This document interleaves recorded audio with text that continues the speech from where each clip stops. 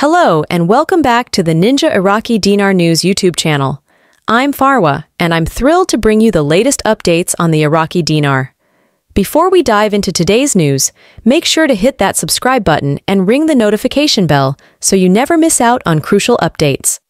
Now, let's get started.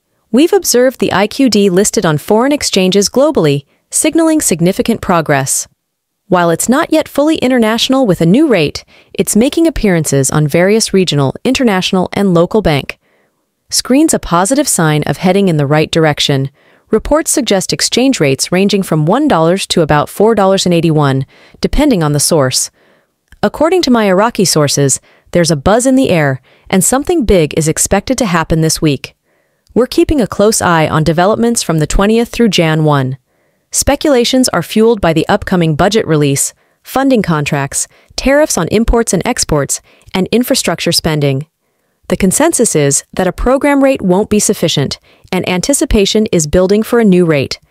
In a recent call from a high level source, the message is clear Christmas is coming, and we can expect a very good one.